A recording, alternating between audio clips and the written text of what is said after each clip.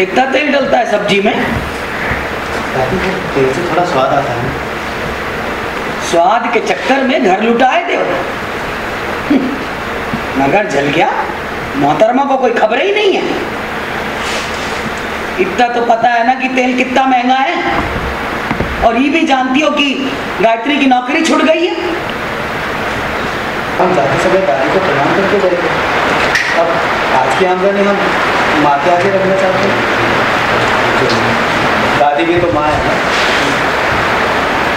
ठीक है बेटा, पहले पैसे अम्मा के हाथ में रखो, फिर ले जाकर अपनी माँ के आगे रखो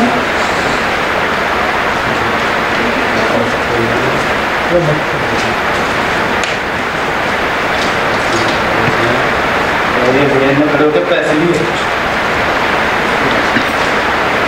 एक दो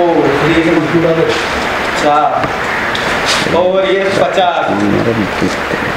सिर्फ़ चार सौ पचास रुपये। अरे, हमने तो सुना, दुकान रखने के बाद शगुन के तौर पर ही अभिषेक ने तीन सौ रुपये की खरीदारी की थी। तो उसके बाद क्या सिर्फ़ एक सौ पचास रुपये की खोपड़ी गई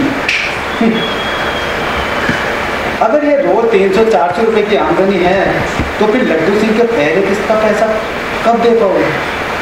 जो ऊँट के मुँह से जीरे के बराबर निकाल कर लाई हो ना अपनी आमदनी लेती जाओ।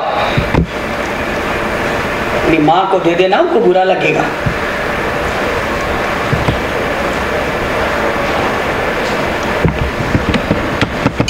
बिट्टी का जो पहला बिज़नेस है वो ही नहीं चला हम्म। और बिट्टी थोड़ी सी मायूस भी है और घर में दादी भी थोड़ी गुस्से में है। हम्म। तो क्या होगा आगे? आगे बहुत इंटरेस्टिंग सा टर्न लेने वाला है ब्यूटी बिज़नेस वाली।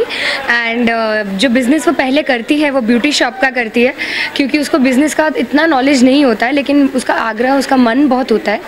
इसीलिए वो एक ब्यूटी शॉप खोल के बैठती है। जिसके बाद पता चलता है कि वो बिज़नेस उसका चल नहीं रहा है।